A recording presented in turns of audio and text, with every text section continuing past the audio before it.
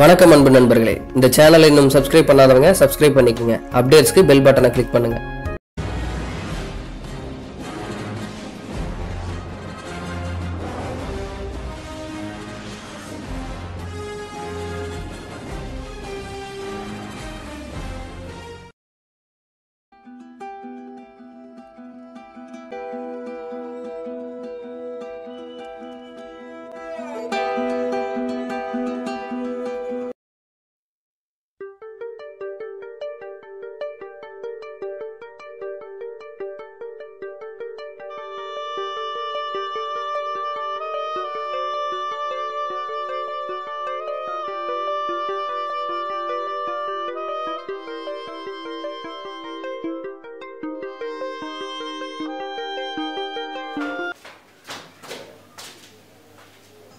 டேய் சேது என்னடா ஆச்சு? டேய் அம்மாவுக்கு ஹார்ட் அட்டாக்டா டேய் விட்றா ஒன்றும் இல்லைடா காப்பாத்திடலாம்டா.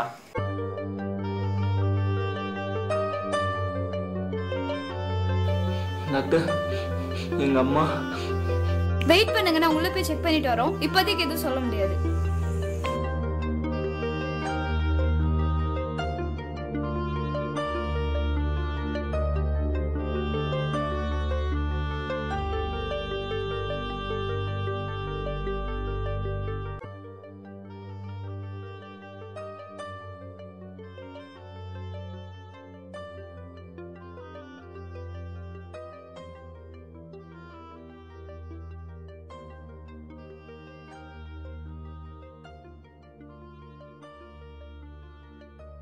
டாக்டர் கண்டிஷன் எப்படி இருக்கு?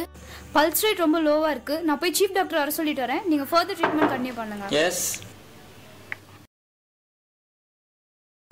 டாக்டர் அந்த பேஷண்ட்டோட ஃபைல் பேஷண்ட்டை இம்ப்ரூவ்மெண்ட் இருக்கா? பல்ஸ் ரேட் ரொம்ப கம்மியா இருக்கு டாக்டர் இப்போ வந்து ட்ரீட்மெண்ட் கொடுத்தா கரெக்டா இருக்கும். நீங்க வந்து ஃபர்தர் ட்ரீட்மெண்ட் கண்டினியூ பண்ணுங்க டாக்டர் இது செகண்ட் அட்டாக் ஸோ இனி காப்பாற்றுறது கஷ்டம்தான்.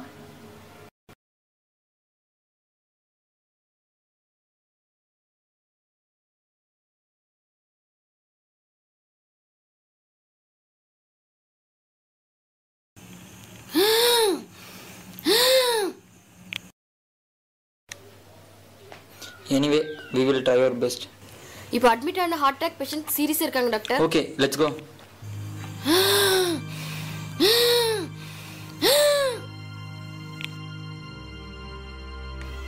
She is no more.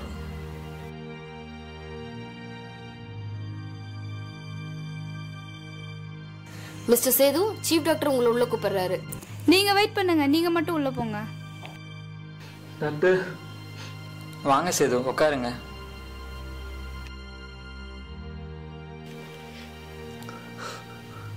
Doctor எங்க அம்மா பறிச்சுக்கோங்களா டாக்டர். பொறுமையா இருங்க சேது. அதை பத்தி தான் உங்கள்ட்ட பேச கூப்பிட்டேன். நான் சொல்றத நீங்க பொறுமையா கேட்கணும். மனசை தளர விடக்கூடாது சேது. சாரி சேது. நாங்க எவ்வளவோ ட்ரை பண்ணியும் எங்களால காப்பாற்ற முடியல சேது. டாக்டர்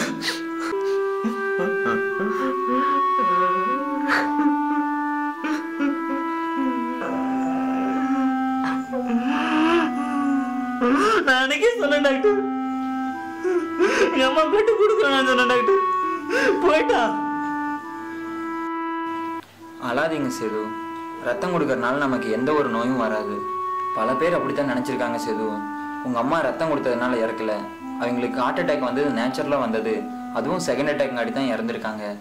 ரத்த தானத்துக்கும் ஹார்ட் அட்டாக்குக்கும் எந்த ஒரு சம்மந்தமுமே இல்லை.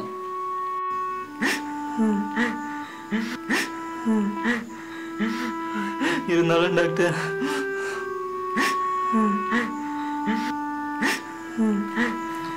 அழாதீங்க சேது. உங்க அம்மா இன்னும் உயிரோட தான் இருக்காங்க.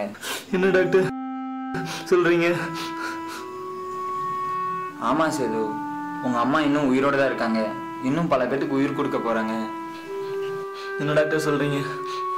எனக்கு எதுவுமே புரியல. உங்க அம்மாவுக்கு ஃபர்ஸ்ட் டைம் ஹார்ட் அட்டாக் வந்தபோதே எங்க ஹாஸ்பிட்டல் தான் அட்மிட் பண்ணியிருந்தீங்க. அப்பவே உங்க அம்மா ஆர்கன் டொனேஷன் பத்தி தெரிஞ்சுட்டு அதுக்கான ஃபார்மை ஃபில் பண்ணி கொடுத்துட்டாங்க. இதுதான் அந்த ஃபார்ம் சேது. இறந்ததுக்கு அப்புறம் கூட உங்க அம்மா பல பேர்த்துக்கு உயிர் கொடுத்து உயிர் வாழ போறாங்க.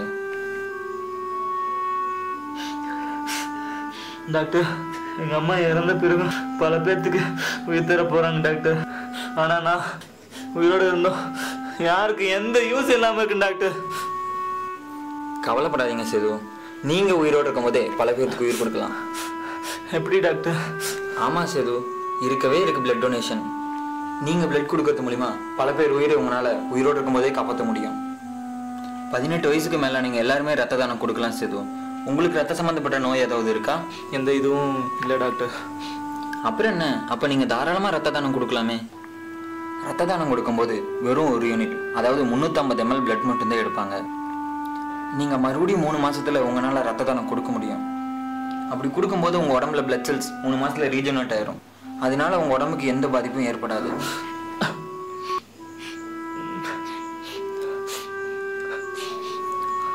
அழாதீங்க செது நீங்கள் ஃபஸ்ட்டு போய் அம்மாவை பார்த்துட்டு வாங்க.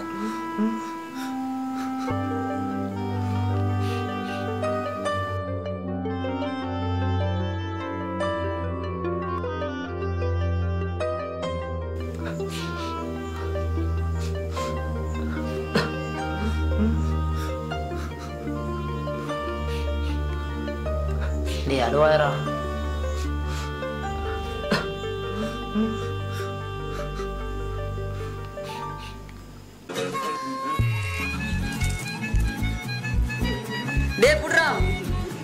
அவுட்டு ஏன்டா உங்களுக்கு வேலையே இல்லையா எவ்வளவு இடம் இருக்கு இங்க வீட்டுக்குள்ளதான் விளையாடுவீங்களா மா வெளியே வெயில் அடிக்குமா எப்படிமா போய் விளையாடுறது ஆமா வெயில்ல போய் கருத்துருவ பாரு. ஆல்ரெடி ரொம்ப கலரா இருக்க. எங்கம்மா போறேன் பிளட் டொனேஷன் கொடுக்க போறேன்டா. ஆ அவனா மூணு மாசம் ஒருக்கா பிளட் குக்க போயிடுற. ஆமா எரும மாடு மாதிரி வளர்ந்துருக்கல நீ தான் ஒரு டைம் போய் பிளட் கொடுக்கறது. இந்த மாதிரி பிளட் குக்காம இருந்தா தான் நல்லா சிட்டிக்கா வளர முடியும்? நீ குடுக்காட்டி போடா நான் போய் குடுக்கறேன். டேய் நானே பிளட் கொடுத்துருக்கேன். நீ போக வேண்டியதான்டா டேய் போடா போய் பெட்ட போடுறா என்ன? ஓன் ஒன் பிளட் குரூப்பா எத்தனை யூனிட் தேவைப்படுது? ஓகே நான் ரெஃபர் பண்ணிட்டு சொல்கிறேன் சொல்லுங்கள் சேது. டாக்டர் பிளட் கொடுத்தா அடிக்காதில்ல?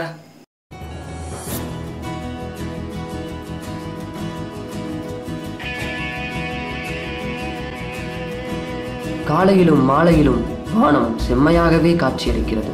ஆனால் காலங்கள்தான் வேறு. மனிதனின் குருதியும் அப்படித்தான்.